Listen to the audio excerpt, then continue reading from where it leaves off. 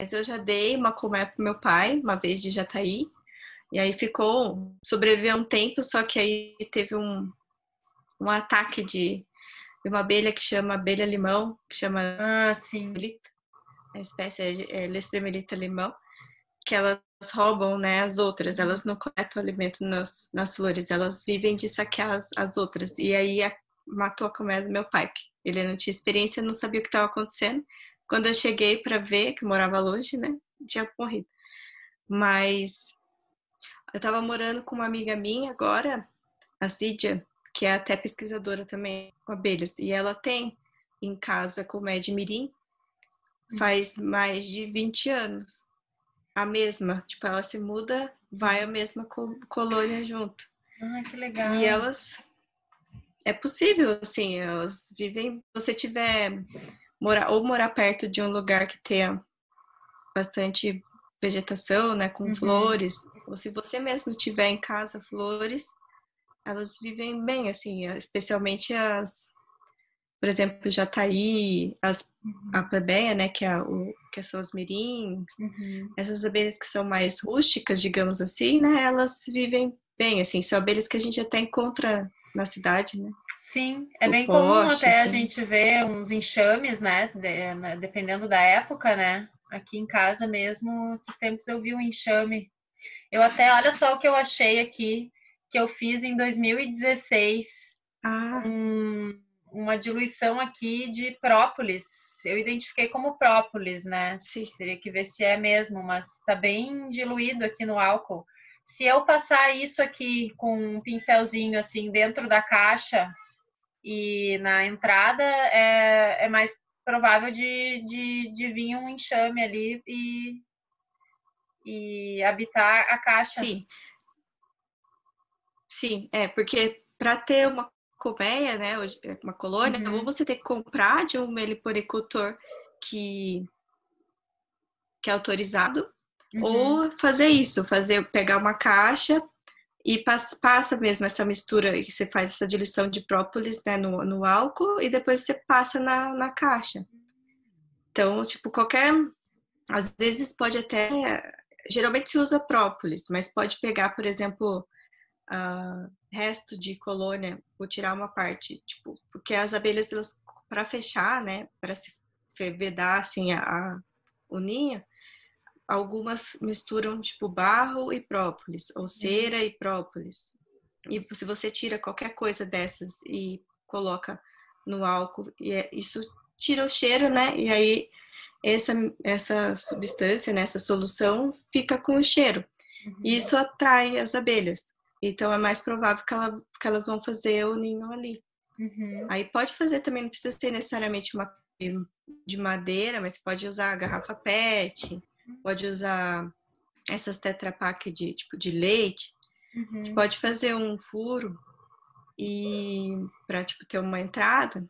Às vezes até essas garrafas, às vezes eles fazem com essas, a, mesmo a da garrafa seria uh, possível, né, ser uma entrada. Uhum. A única coisa que é PET você tem que cobrir com um jornal, um saco para ficar escuro dentro. Uhum. Mas você pode usar isso, né? Que legal. Então a PET aí tem seria só fazer um. Fazer tem que fazer um furinho. Um furinho na, na PET. É. Ou não? Isso. Até tem, tem vários. Tem vários jeitos, assim, né? Tem gente que faz só um furo, tem gente que coloca, sabe esses, tipo, joelho, assim, que você usa encanamento? Uhum. Pode encaixar isso, na, né, fazer um buraco e encaixar isso, porque daí fica uma entradinha já, uhum. e fica esse caninho dentro vai ficar como se fosse para cima, então impede que entre água, por exemplo, né? Hum. Então tem várias, tem vários modelos assim, que eu vejo que as pessoas inventam assim, né, para uhum. capturar as abelhas. O ah, importante mesmo olhada. é o cheiro. Dentro da cidade, né, que a gente vê que é possível, né, que existem vários tipos de abelhas, né? Existem abelhas sem ferrão, porque às vezes o pessoal fica com medo, né, de abelha. Eu mesmo já tive essa experiência uma vez de querer uh, colocar abelha, né, lá no sítio onde meus pais moram, e meu pai disse, bah, não, as abelhas, né, picam, vamos atacar aqui, né, muita abelha, né, o pessoal fica meio com medo. Então, assim, o que que Uh, existem outras maneiras, né? De tem um jeito de criar abelhas aí para não, não, não ficar com medo, né? Ou criar abelhas sem ferrão. Você pode então, falar um pouquinho a... sobre esses, sobre os diferentes tipos de, de abelhas? Sim. Então, a gente, no mundo, se a gente for, uh, for pensar, a gente tem muitos tipos, né, que, a gente, que os biólogos chamam de espécies, né, uhum. de abelhas. A gente estima que tenha mais de, a gente, que tem descrito, que a gente já sabe que existe, são 20 mil. Ai. Mas a estimativa é que tenha muito mais. Só 20 mil. Só 20 mil. E aí, é, no Brasil, a gente tem 1.600 espécies descritas que gente, então, e no, no Brasil, né? Aí, dentro dessas 1.600, a gente tem o que a gente chama de cinco famílias, né? Que são cinco grupos diferentes. E essas abelhas, se a gente for pegar todas as espécies do mundo, uh, só 15% são sociais. Então, só 15% que fazem as, as colônias, né? Que tem colônias. Uhum. Que tem rainha, que tem operária e que são as que a gente acaba uh, criando, porque são elas que vão armazenar mel e a gente vai poder uh, obter eh, isso delas, né? Uhum. As outras abelhas são solitárias, então, tipo, elas têm um ninho, mas só tem uma fêmea no ninho que faz tudo, não tem uma rainha, não tem uma operária. Uhum. E, e essas abelhas, depois que elas constroem o ninho, elas fecham o ninho, vão embora e elas não conhecem seus filhos. Então, essa é a principal diferença, assim, a diferença mais a, marcante entre abelha social e, e solitária. E aí, então a gente tem muitos tipos, né? Mas, assim, por exemplo, a gente tem uma família de abelhas que chama Lictide, que ela é muito comum em plantas uh, agrícolas, assim, até e elas são muito comuns em áreas urbanas também. Tipo, já vi bastante ah, no manjericão, em outras flores assim de jardim, que são umas abelhas metálicas que elas variam assim em tamanho, pode ter o tamanho de uma abelha peças comum, uh, só que elas são mais magrinhas, assim, digamos, uhum. mais compridinhas, ou elas podem ser bem pequenininhas. E às vezes as pessoas acham que é mosca, porque muitas delas, a maioria delas, elas são metálicas. Então, elas podem ser verdes, pode ser preto metálico, pode ser verde vermelho, a mesma abelha. Então, às vezes as pessoas acham que são moscas. Mas as abelhas que a gente pode criar mesmo, solitárias, a gente fazer ninho também. Tipo, ah, muitos lugares do mundo até já tem, ah, tem aqueles, tem uns ninhos que eles até muitas vezes fazem meio decorativos, assim. Tipo, que ah, ah, tem vários furos, ou tipo, ah, pode ter um, um tubo de bambu, por exemplo, né? Pega de bambu, corta, dá para fazer vários tipos de, de ornamentações assim para jardim. Daí elas podem fazer ninho lá. Não é uma criação assim que você vai poder ah, abrir o ninho, coletar alguma coisa, mas é uma coisa que deixa bonito e ajuda as abelhas. Uhum. E você vai ter várias abelhas no seu jardim. Se você tiver horta, inclusive, a Lictid é uma, por exemplo, uma das abelhas que é polinizadora de tomate. Uhum. Então, é, eu ia é te perguntar isso, que muita gente assim pode pensar que as abelhas uh, têm a função de produzir mel para nós, né? A gente que acaba se aproveitando, né? Mas existe uma função ecológica muito maior das abelhas, né? No, nesse papel assim na natureza. Tu pode falar um pouquinho sobre isso, sobre o papel das abelhas? Sim. É, então, na verdade, o, uh, o, principal papel, como você disse, não é fazer mel para a gente, né? Apesar de, da nossa relação, assim, ser, ser com as abelhas, ser, ter isso, né, de, ah, tem até um slogan que os apicultores às vezes usam, ah, a abelha não faz mal, faz mel, mas a uhum. abelha faz muito mais que mel, né? Uhum. A abelha presta um serviço essencial, não só para gente, mas todos, para toda a vida do planeta, na verdade, que é a polinização. Então, a gente tem as plantas que têm flores, né? Ah, cerca de 87% precisa de um animal para se reproduzir. ou seja, para levar o pólen, né, o grão de pólen, que seria o equivalente aos nossos espermatozoides, né, de uma planta para outra, porque como as plantas não conseguem, né, se mexer, até alguém tem que fazer levar uh, o gameta para que ocorra a fecundação. Então, as, ali as abelhas são os principais polinizadores no mundo. Claro que existem outros animais, né? Por exemplo, o morcego, né? Que tem se falado muito do morcego por causa da nossa pandemia, mas o, morcego, a maioria, apesar de também ter a fama, né, do vampiro, de ah, do sangue, da raiva, a, morcego, a, principal função dele é a polinização também. Ele é responsável por, pela polinização de muitas plantas. Uhum. Por exemplo, umas, uma, uns cactos, né? dependem bastante da, da polinização por morcego. Então, se a gente for pensar que 87% das plantas do mundo uhum. precisam de um polinizador e as abelhas são as principais, tipo, sem a reprodução das plantas a gente não tem fruto, a gente não tem comida nem a gente, a gente comer muita coisa que não precisa polinização mas a gente não teria diversidade na nossa alimentação. E também comida para outros animais, né, que dependem desses frutos na natureza. E a gente não teria próprias árvores e outras plantas que fazem parte da produção de oxigênio e de outras coisas importantes para sustentar a nossa vida. Então, por isso é a, a, essa história de, ah, do, do, desaparecimento né, das uhum. abelhas, causou muito impacto por isso, porque começou a se pensar no que aconteceria se a gente não tivesse as abelhas.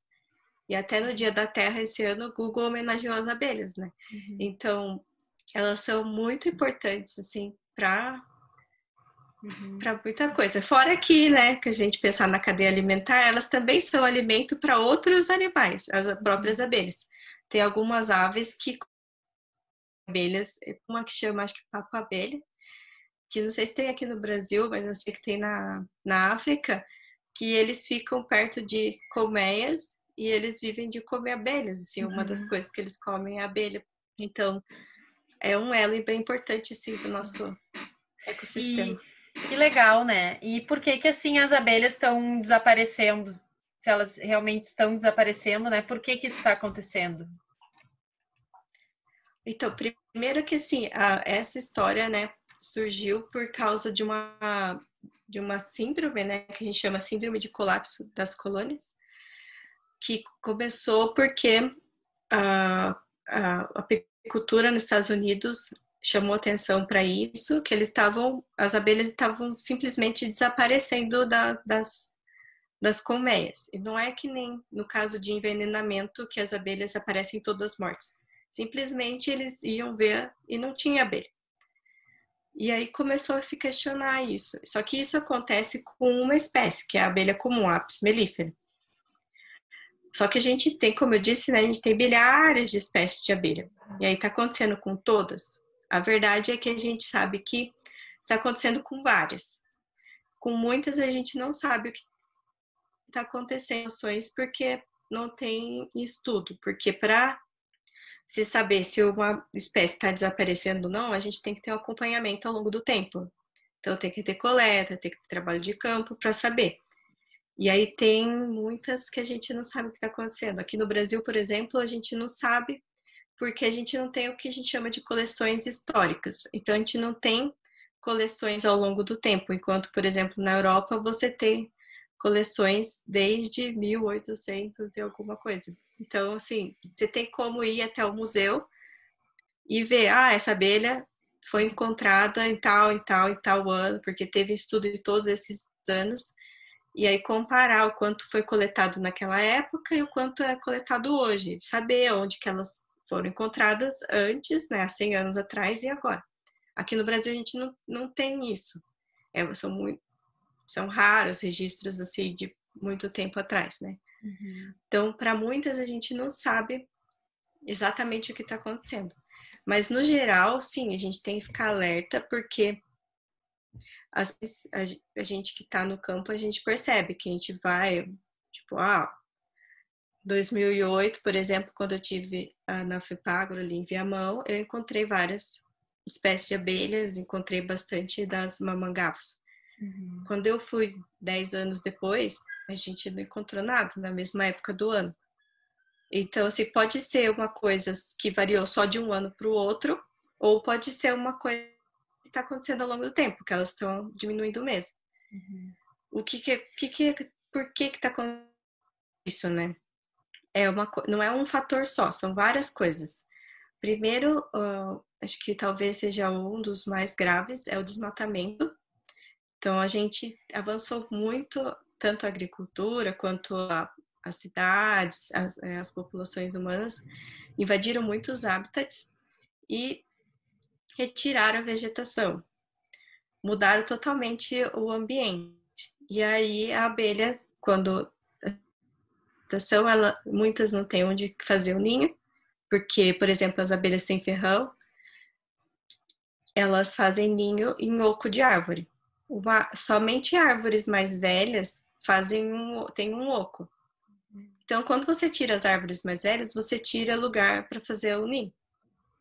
Então, você já diminui um recurso que é muito importante, porque elas não vão ter onde fazer ninho. Então, uma colônia não vai se multiplicar se não tem onde ir, né? Uhum. Se instalar. Uhum. E a outra é você tira a vegetação, as abelhas elas são totalmente dependentes a, das plantas, porque elas comem pólen e néctar, né? Que depois algumas transformam em mel. E, inclusive, tem muitas que coletam resina de planta, né? O própolis mesmo vem das plantas. Então, as colinas, que às vezes, quando quebra um galho de uma árvore, a, a planta solta uma resina, ou tem, existem flores. Por exemplo, a clúzia, que é uma planta que eu acho tão bonita, até tem lá no jardim da minha amiga. A gente botou uma, um vaso e quando dá flor, as abelhas, as, as mirins, elas vão lá coletar a resina, que elas têm glândulas que, que dão resina, né? Uhum. Então elas coletam. Isso, é, plantas dão material de construção para as abelhas, o própolis, as, a resina, as abelhas usam para desinfectar a colmeia, digamos assim. Ela tem propriedades né, antibióticas, então as abelhas misturam em tudo. Então é um meio de defesa das abelhas e também para construir né, o ninho. Então, uh, na verdade, quando você desmata, você tira todos os recursos que as abelhas precisam, né, para. Algumas espécies são mais afetadas que outras, porque algumas né, tem, precisam de coisas mais específicas, ou por exemplo, abelhas solitárias, algumas elas nidificam no chão, no solo, né, dentro do solo, então não são tão afetadas pela falta de árvores, mas mesmo assim elas precisam, né? Elas precisam de. E além de tudo, quando você tira, daí falam, né? Ah, mas daí na agricultura a gente vai ter flores. Mas na verdade é algum, por exemplo, a monocultura, né, que é plantar só um tipo de cultura agrícola, ela também vira um deserto para as abelhas, né? Porque as, a, a maioria das plantas, elas não dão flores o ano inteiro, só dão um determinado tempo. Uhum. Então, é só, por exemplo, macieira, né? Tipo, a macieira, ela floresce durante um mês, em setembro. Aí, quando que acontece nos outros 11 meses que não tem flores? Da onde que, a, que as abelhas vão tirar recursos alimentares, né? Então, por isso que também eu acho muito interessante a ideia de uma agricultura diversificada, né, as agroflorestas, porque na verdade você acaba sustentando os animais também. Né? E outro problema, né, que a gente tem seria o envenenamento por agrotóxicos. Uhum. Então, até nas cidades, assim, a gente pensa, ah, eu vou aplicar um herbicida, vou aplicar um veneno no meu jardim, mas você vai prejudicar as abelhas. Então é sempre bom buscar outras alternativas, né? Ou usar corretamente, porque um dos grandes problemas seria o mau uso, né? Dos uhum. agrotóxicos também, não respeitar o tempo de, de, de carência, não uhum. respeitar quando se deve aplicar, o quanto se deve aplicar. Então, isso acho que esses dois são os, são os principais fatores, né? Uhum. O desmatamento, o uso indiscriminado né, de, de agrotóxicos que causam envenenamento, né? Às vezes pode não matar uma abelha imediatamente, mas ela pode ficar recebendo doses que, ela, que a gente chama de doses subletais, que ela leva para a sua colônia e ali pode contaminar também a cria. E isso já tem vários estudos mostrando que pode levar, por exemplo, a diminuição do diminuição a deformações dos indivíduos ali que estão se desenvolvendo. Uhum. E me... até afetar o aprendizado né, das abelhas. Uhum. E, e, aí é... as abelhas não conseguem aprender, por exemplo, quando coletar comida. Sim, sim, afeta a orientação delas também, né? Eu já vi também sim. sobre essa questão da monocultura que afeta a, a distância também que elas têm que percorrer, né? Tu sabe assim quanto qual, qual a distância que ela que ela consegue percorrer e como que isso afeta também dela não conseguir voltar para a colmeia? Então, as abelhas elas têm uma capacidade de voo, né? Cada abelha, isso está relacionado com o tamanho. Então, as abelhas maiores elas conseguem voar distâncias maiores do que as menorzinhas. Uma jataí, por exemplo, teve um estudo que foi feito na PUC uhum. que, que mostrou que elas voam para coletar alimento até 600 metros. Tipo, assim, a abelha pode conseguir voar muito mais, às vezes. Uhum. Só que ela tem toda a energia para ir até o alimento, coletar o alimento e voltar. E quanto isso buscar o, o alimento.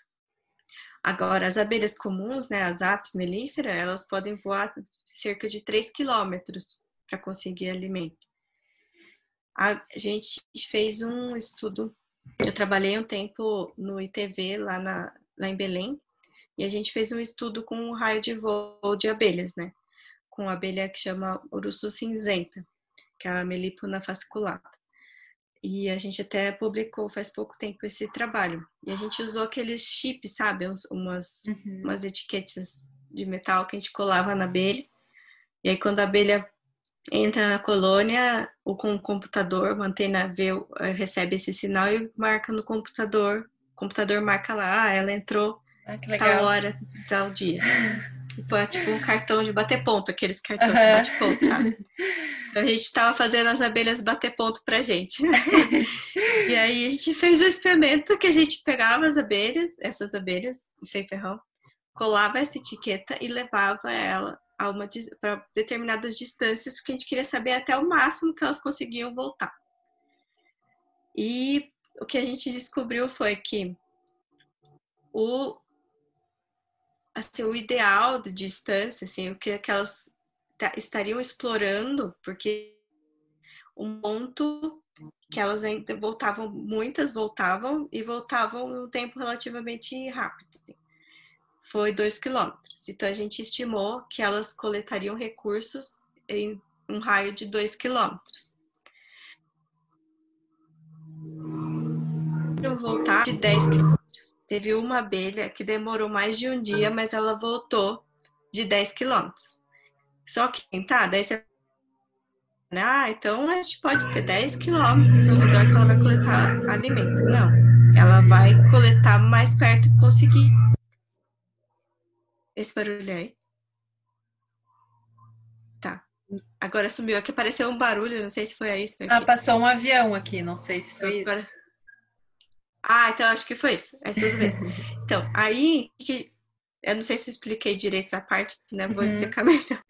Então, o que acontece é que assim, a gente viu que até 2 quilômetros elas voltavam, mais ou menos uma hora e pouco, e voltavam uh, mais de 50% das abelhas que a gente soltou, elas voltavam. Então a gente, uh, o que a gente pensou? Então, dessa distância, até 2 km, elas conhecem, por isso que ela volta rápido. Distâncias maiores, elas começaram a demorar muito mais tempo para voltar. E voltava muito menos abelha. Então, provavelmente as abelhas ficaram perdidas. Então, elas não conhecem distâncias maiores. Uhum. Apesar de conseguir voltar de 10 km, que é incrível para um bicho desse tamanhozinho. É incrível mesmo. Né?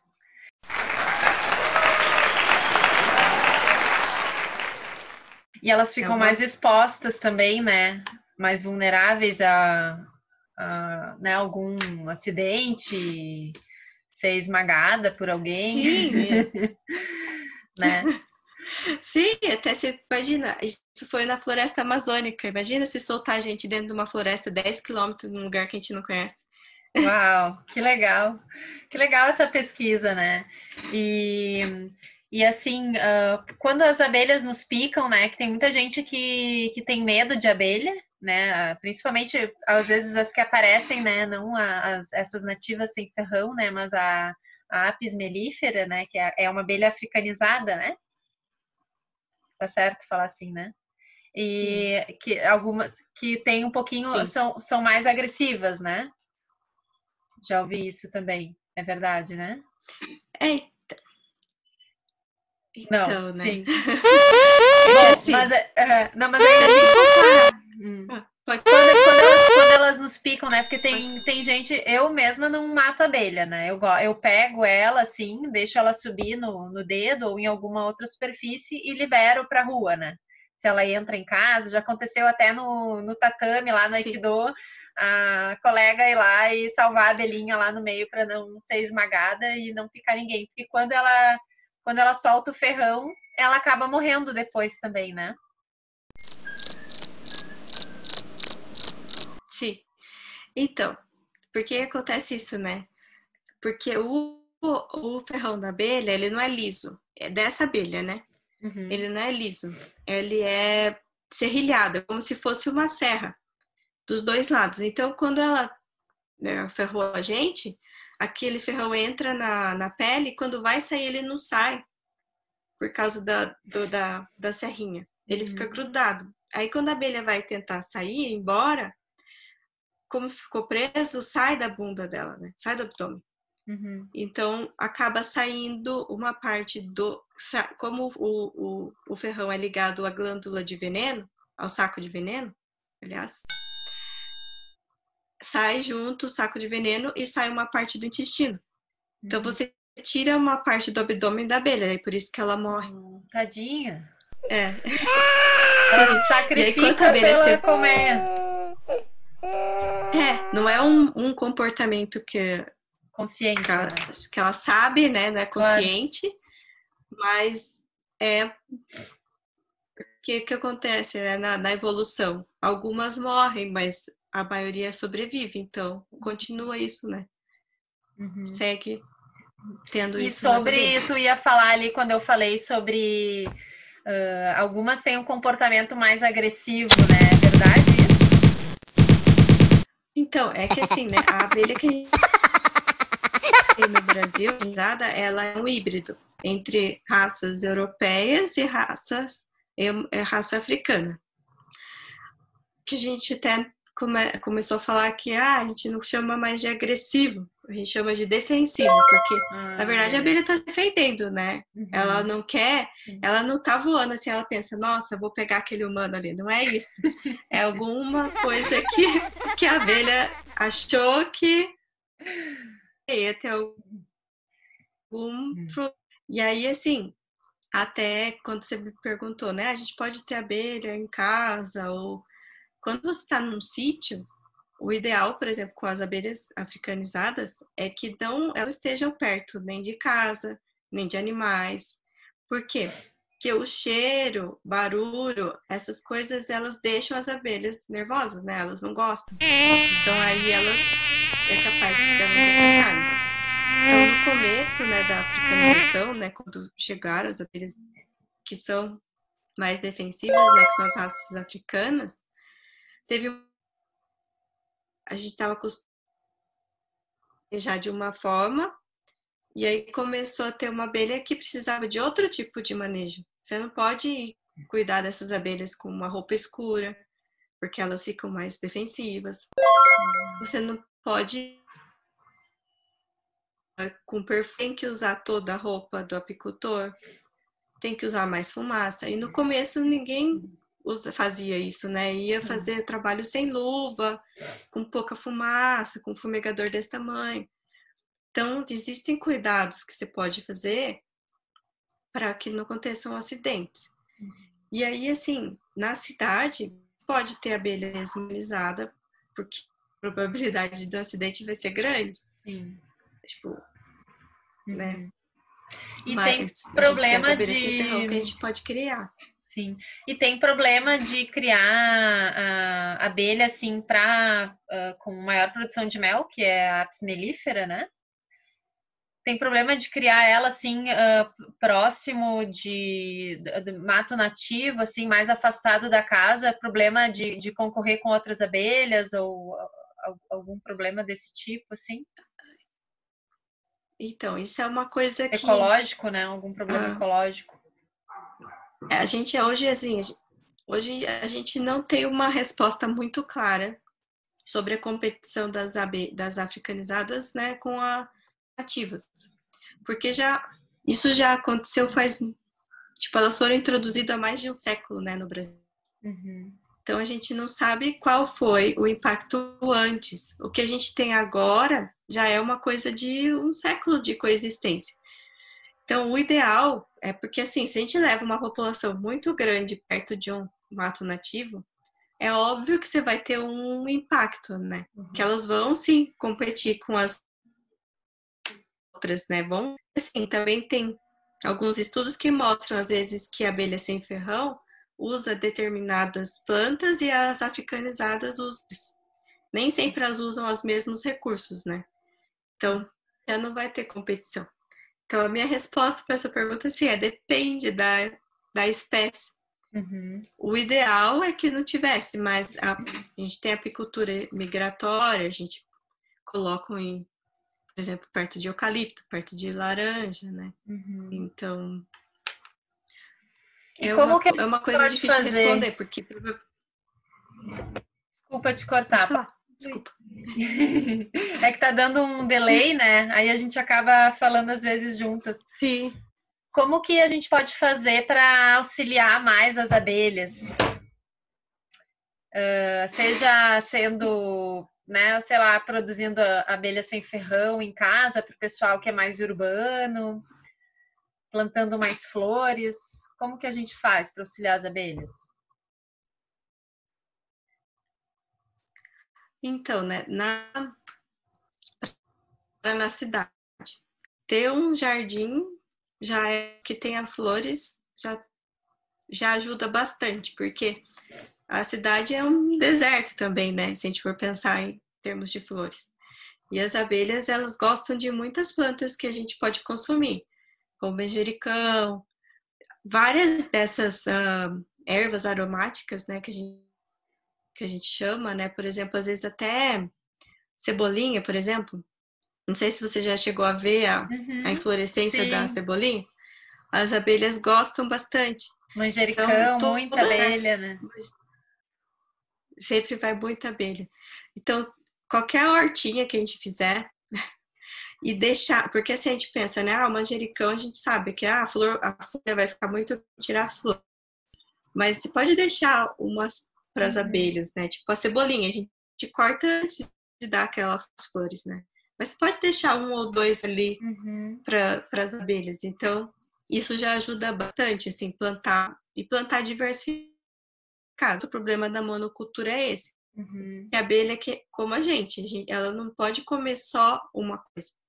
Tem que ter uma diversidade, né, na alimentação. Uhum. Então, ter uma diversidade de e pode ajudar pode pular goma de bambu, pode deixar, pode ter uma, uma caixinha de ali de madeira, que daí se elas quiserem fazer, nem elas podem fazer.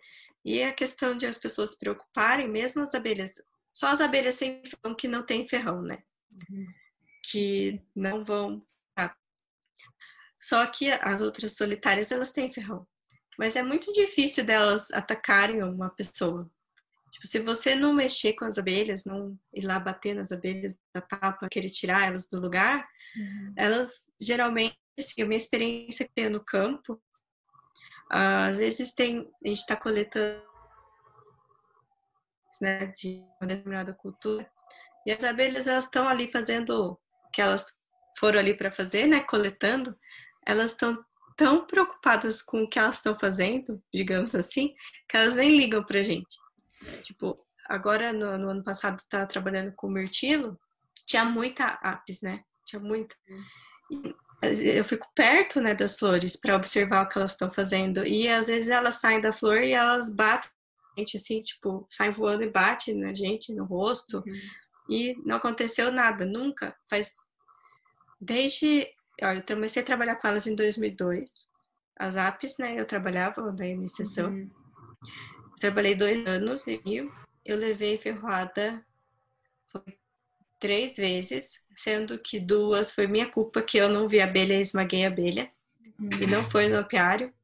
E depois disso, eu nunca mais levei ferroada. Uhum. Então, desde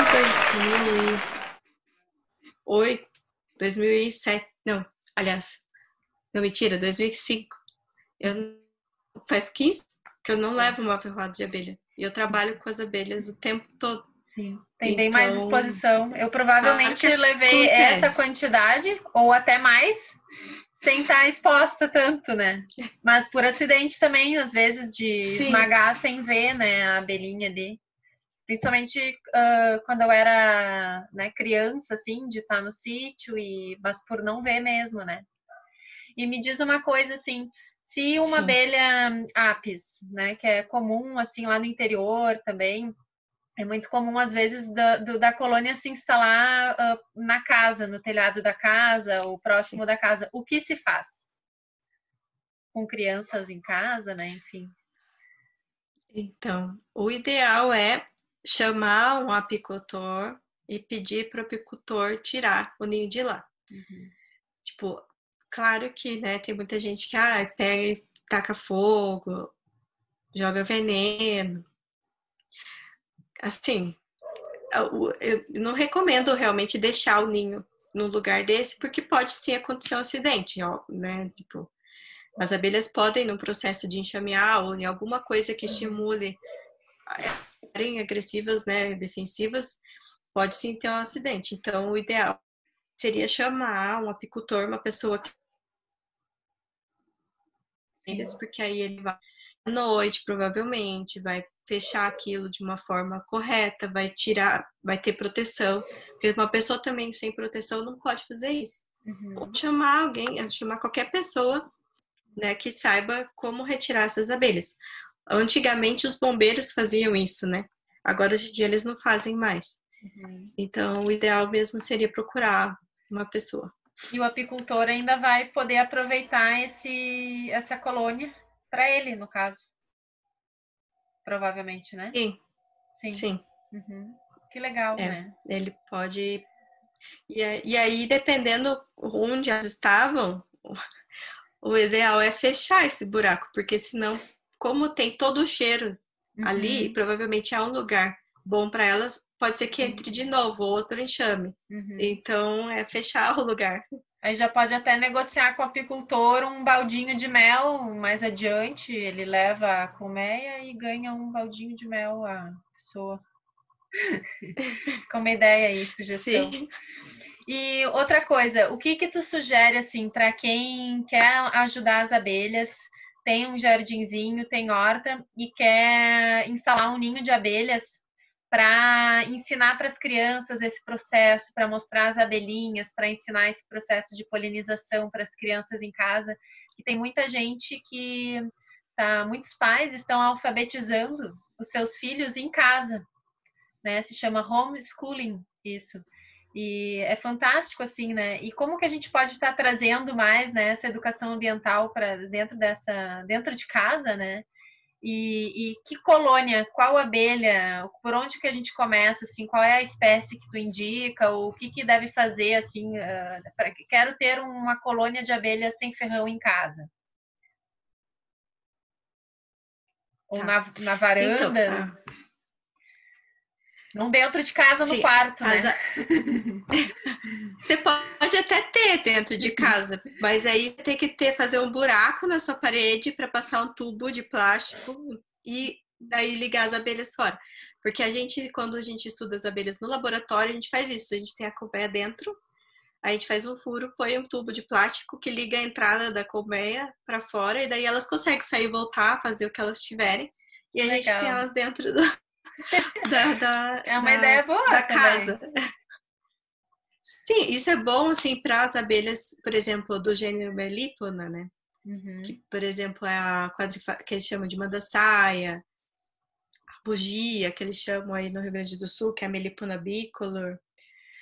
E, por exemplo, tem Nossa, eu sou, eu sou péssima para nome, mas a gente vai lembrando.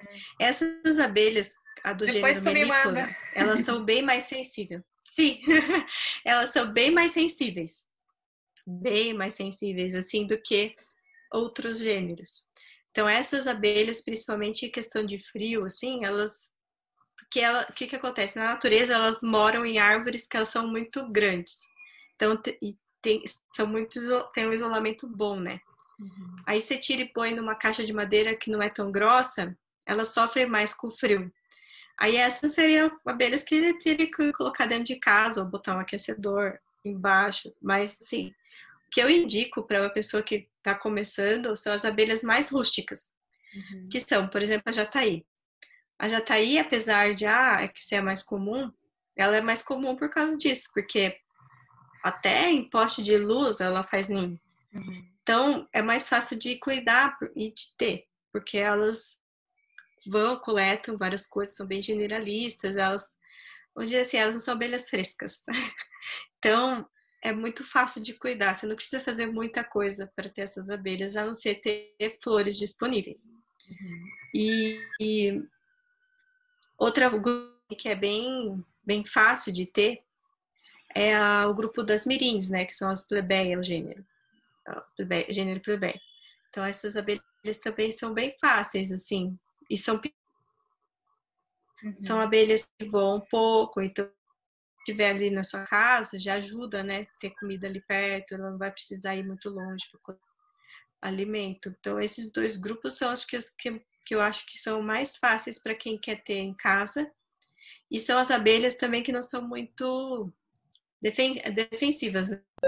Porque a, gente, a abelha sem ferrão não faz nada, mas, por exemplo, as, as, as captotrigona, que são que a gente chama de tubuna, popularmente, elas não têm ferrão, mas elas são bem chatas para a pessoa perto, elas enroscam, enrolam no cabelo, uhum. é, tipo, tenta, tipo, elas não têm ferrão, mas, e não, apesar de não machucar, incomoda, porque às vezes elas vêm morder aqui, assim, uhum. e aí ataca pessoas, né? Sim. As pessoas não gostam. Sim. Então a tubuna né, é ideal ter num lugar que não tenha muita gente assim passando, por exemplo. Elas não vão fazer mal, mas elas vão ficar bravas se chegar perto. Uhum. E, e a Jataí, elas... a Jataí as mirins, Também. depois de um tempo, Jataí, daria tipo... para aproveitar o uh, coletar um pouco de mel assim, de maneira didática dentro de casa assim para as crianças? Então já tá aí mais do que mirim, porque as mirins elas são menores e as colônias são menores. Uhum. Mas a jataí não, elas fazem os potes eh, de mel né, relativamente grandes. E aí é fácil assim de tirar mel, o mel é bem gostoso, produzem bastante. A mirim como é menor, é, a mirim seria uma abelha que produz mais própolis, assim, uhum. sabe?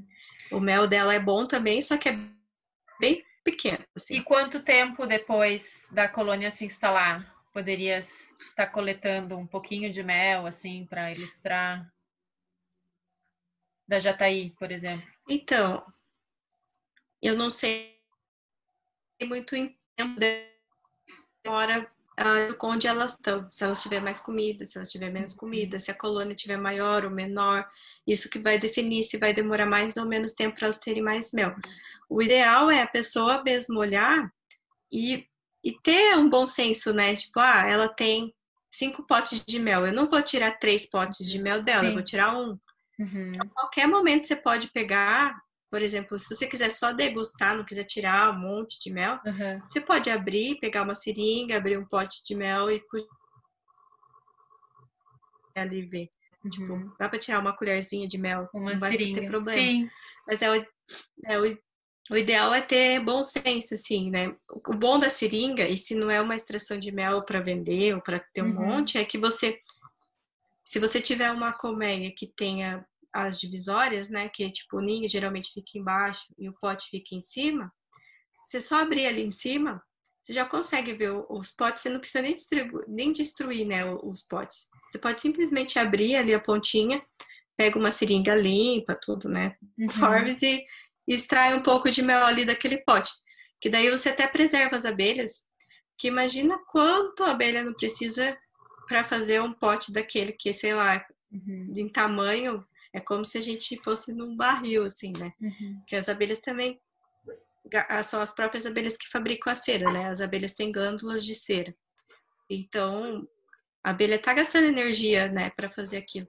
Então, o ideal não é destruir o menos possível a colmeia para para que ela se mantenha ali muito tempo, porque uma colônia ela pode durar anos se cuidar bem dela, né? Uh, por que é tão importante a, a pesquisa? A pesquisa com abelhas, a ciência, né? Porque nesse momento que a gente está vivendo no país, né? Por que, que qual a importância disso, né, para nós e para toda a biodiversidade?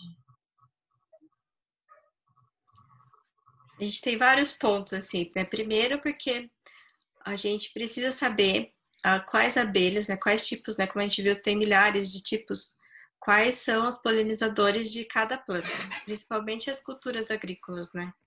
Se a gente for pensar que ah, um terço do que a gente come depende das abelhas, então a gente precisa saber quais são essas abelhas para cada cultura. Por exemplo, o tomate não é polinizado por qualquer abelha. Precisa de ter um certo comportamento lá específico para isso. Então a gente precisa saber disso. E aí, para saber, depois de saber isso, a gente precisa também saber como é, o que, que as abelhas precisam para viver. Tem muita abelha que a gente não conhece nem o ninho. A gente só sabe que elas existem. Então, como é que a gente vai uh, preservar, conservar alguma coisa que a gente nem conhece. Então, isso já é o básico, né? A gente tem sido muito atacado, né, o conhecimento Para que, que a gente vai fazer pesquisa básica? Por quê? Porque sem saber como uma coisa vive, onde vive, como vive, o que precisa para viver, não tem como a gente usar depois, não tem como a gente tem que preservar depois. Uhum. E Além disso, tem toda a questão, né? A gente não sabe, a gente tem uma agricultura hoje que pode ser que vai demorar muito tempo para ser modificada, se for modificada. Então a gente precisa saber também o efeito dos agrotóxicos nas abelhas. Uhum. E a gente sabe super pouco, a maioria dos trabalhos são sobre uma espécie, sendo que a gente tem milhares de espécies. E o efeito varia entre as espécies, algumas são mais sensíveis que as outras. E ainda tem uh, toda uma questão, né? Tipo, a ah, própolis de abelha. A gente tem vários estudos que, tipo, ah, em várias ah, doenças que causam lesões de pele, que própolis de abelha e mel, eles eh, são ótimos cicatrizantes. Então, as abelhas ainda têm fontes ah, de vários ah, potenciais medicamentos que a gente não, não sabe. Então, Ixi, é uma infinidade de coisas assim, só de um organismo que se aplica para todo o resto, né, dos, de todas as coisas que envolvem ciência, que é uma importância assim primordial, porque a gente está perdendo muita coisa que a gente nem conhece e que é importante por si só na natureza, né, que sustenta todo um ecossistema que a gente também depende para viver, que sustenta o planeta, né? Sem o planeta a gente não vive. Como além disso, são fontes de recursos que a gente poderia usar diretamente, assim, né? Tanto medicinal como econômico e alimentar. Então, uhum. é primordial estudar várias coisas das abelhas, né? Sim. Ah, muito, muito é legal isso. isso, tudo que tu tá falando. Adorei essa nossa conversa sobre abelhas. Espero que seja útil para o pessoal em casa e, e né, para as pessoas que querem se aproximar mais e que querem auxiliar o nosso planeta, né, e, e nós também, né, a nossa população. E que a gente faz parte da natureza também, né? E, então, Sim. se tu quiser deixar um recado aí final para o pessoal. Sim. Ah, eu agradeço muito o convite, assim, eu sempre, eu sempre gosto muito de, de falar sobre abelhas, se deixar eu fico o resto do dia uh, falando, e eu queria deixar recado, assim, né, que a gente, nós, como, uh, como integrantes desse planeta, às vezes a gente pensa que a gente não pode mudar nada, mas se a gente fizer, cada um fizer uma coisinha, a gente consegue mudar, não só em relação às abelhas, né, até coloquei a camiseta Be The Change, né, seja a mudança mais bi uhum. de abelha. Uhum. Porque uh, se a gente conseguir em casa, né? Tipo, às vezes você fala, ah, não tenho espaço. Mas tem uma janela, tem uma alguma coisa, tem uma varandinha que seja. Se a gente ia começar daí, sabe, fazendo a sua parte, tipo, nem, nem, nem precisa ser só para as abelhas. Você pode atrair beija-flor, você pode atrair outras aves, você pode. Ixi, tem tanta coisa que a gente pode fazer. Então, assim, o meu recado é esse, assim, é fazer a nossa parte, né? Pensar no todo, não pensar só na, nas pessoas como indivíduos, né? Nós somos uma rede entre seres humanos e entre a gente e a natureza, apesar de a gente se sentir muitas vezes distante, né, da natureza, mas a gente é, faz parte de um planeta, então a gente pensar mais nesse global, assim. Então, o recado e muito é... obrigada, né? E também espero que eu fale, que, que tudo que eu tenha falado seja útil para isso. Com certeza, com certeza é útil. Então, plantem flores, né? Be the change, plantem flores e sejam felizes. Isso. Isso grata, Pati. Um abração. Muito grata, gratidão, saúde aí para ti, para tua família e tudo de bom. Conta comigo. Para vocês também. Beijo. E fiquem em casa. Fiquem em casa. Beijo. Tchau. Tchau.